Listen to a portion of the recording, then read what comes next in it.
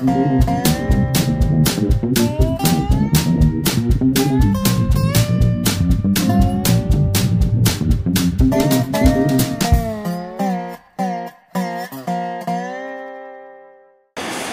YouTube!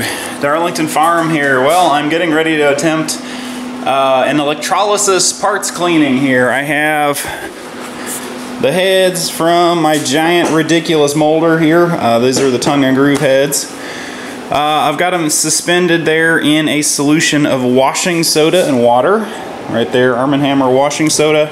Um, you're supposed to use a battery charger set at about 10 amps. Well, I don't have a battery charger handy, but I do have an XMT304. So we're gonna clip that guy on there. I just have a piece of stainless wire, uh, eighth inch uh, filler metal there holding that guy. And right there, everything looks like it's going. We're getting pretty good bubbling. This is a sacrificial piece of iron over here. Our other part over here seems to be bubbling uh, pretty good. And I'm uh, just gonna leave this guy in here. It looks like we're pulling about 12 amps right there at 17 volts.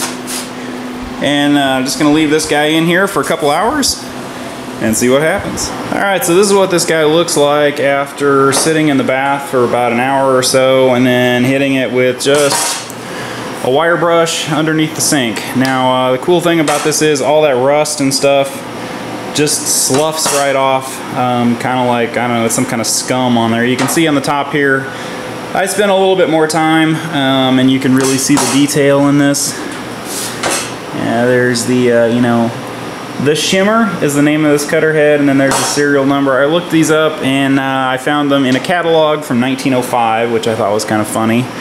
But, um, yeah, it's all ready to go here. The bottom here is, you know, all the rust is gone. I just didn't spend quite as much time cleaning it up as the rest of it, because I figure all that paint's going to get, you know, knocked off there anyway. But I'm just going to go ahead and, excuse me, throw some paint on it like this guy. Just, yeah, some self-etch primer just to keep it from rusting until, oh, until I get the molder together. Anyway, on Darlington Farm, thank you for watching. Please comment, rate, and subscribe.